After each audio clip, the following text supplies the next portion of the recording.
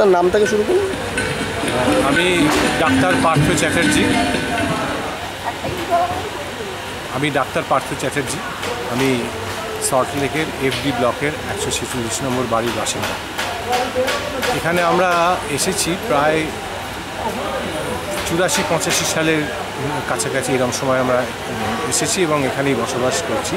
প্রথম অবস্থায় যখন এসেছিলাম তখন তো সল্টলেকের তখন সেভাবে ডেভেলপমেন্ট হয়নি। তখন রাস্তাঘাট জল সাপ ওয়াটার সাপ্লাই বা সিওয়ারেজ এ সমস্ত তখন তো খুবই প্রিমিটিভ অবস্থার মধ্যে ছিল।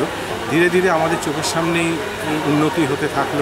আস্তে আস্তে আস্তে আস্তে এটা সেই প্ল্যান্ড সিটি পরিকল্পিতভাবে, সুন্দরভাবে ডেভেলপমেন্ট হয়ে এখন যারা আমরা সল্টলেকে বাস করি, তারা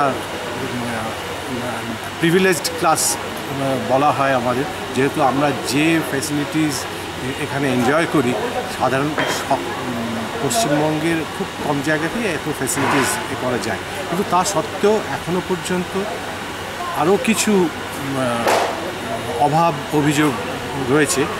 আমার কাছে যে ব্যাপারটা এই মুহূর্তে বেশি মনে হয়, সেটা হচ্ছে নিরাপত্তার ব্যাপারটা। কারণ সল্ট লেকে এত ফাঁকা ফাঁকা জায়গাটা এবং এখানে থানা বলতে তিনটি থানা বর্তমানে রয়েছে, কমিশনারেটের আন্ডারেও এসছে। তিনটি থানা হয়েছে কিন্তু এখনও মনে হয় পর্যাপ্ত পরিমাণে পুলিশ ফোর্স সেভাবে এমপ্লয়েড হয়নি ডিপ্লয়েড হয়নি। যার জন্যে এটা এখনও সিকিউরিটির দিক থেকে ফুল প্রুফ নয়। আমার মনে হয় যে এই ব্যাপারটাই মানে প্রায়োরিটি দেওয়া উচিত। এছাড়া তো পলতা, টালা পলতার জলের ব্যাপারটা রয়েছে। সেটা নিয়ে কাজ হচ্ছে এবং সেটা হয়তো কিছুদিনের মধ্যে আর একটু বেটার পজিশনে যাবে। এখানে আর নিকাশি ব্যবস্থা তো এখন খুবই সুন্দর হয়েছে। সকালে দুবার করে অলমোস্ট এসে গার্বেজ কালেকশন করে নিয়ে যাওয়া, এই ব্যাপারটা এখন পরিষ্কার পরিচ্ছন্নতাটাও অনেক বেড়েছে। এবং আরও দোকান, বাজার যেগুলো খুব অসুবিধে ছিল, প্রথমে অনেক দূর হাঁটতে হতো, যেতে হতো, কিছু কেনার প্রয়োজন হলে। এখন সেগুলো আগের চেয়ে বেটার তবে আরও একটু মার্কেট এবং দোকান টোকান একটু বেশি হলে আর একটু ভালো হয়।